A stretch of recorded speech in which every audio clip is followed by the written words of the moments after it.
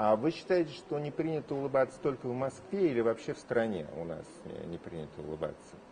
Я думаю, вообще в стране. А, мне один ваш коллега, э, ну, тут тоже медиа-менеджер, э, не так давно сказал, что ему кажется, что Москва это город, заполненный ненавистью.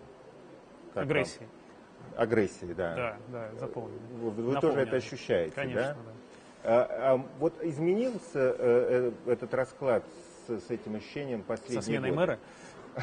Ну, нет, я, кстати, нет, имел в виду. Ну, кстати, может, может быть и да. Давайте потом рассмотрим последние вообще несколько лет. Как, как вы считаете?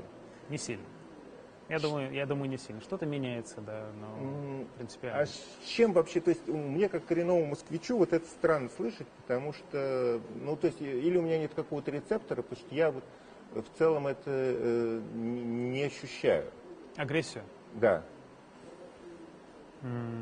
Ну, если находиться в каком-то своем мирке, мире, да, маленьком, то а, я тоже могу сказать, что я не ощущаю. То есть микросоциуме это не ощущается? Но как только ты сталкиваешься э, с реальной жизнью, угу. когда ты идешь в государственное учреждение, угу.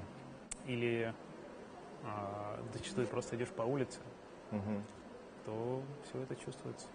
А вам не кажется, что просто в других э, крупных мегаполисах, э, ну, мы говорим и про Европу, и там mm-hmm. про Северную Америку, а улыбки эти, они на самом деле это э, ритуальные. Допустим, вот эта американская улыбка, она на самом деле не подразумевает, что человек испытывает к вам симпатию, что это вот просто, ну как вот принято, допустим, я не знаю, чистить зубы. А, там, там принято улыбаться на улице. Что на самом деле э, люди испытывают э, те же самые эмоции, что и москвичи. Нет? Такого? Я так не думаю. Я думаю, уровень агрессии, конечно, меньше э, в европейских городах, значительно меньше.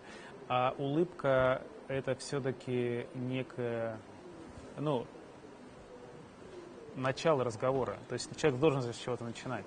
Угу.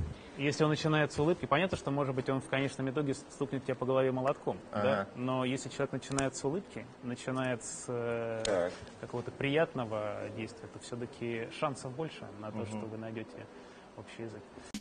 Не политкорректно, но без злого умысла. Иронично, но без сарказма. Пристрастно, но по-честному. Правда 24 и Евгений Додолев. С понедельника по четверг в 19.30 на телеканале Москва 24.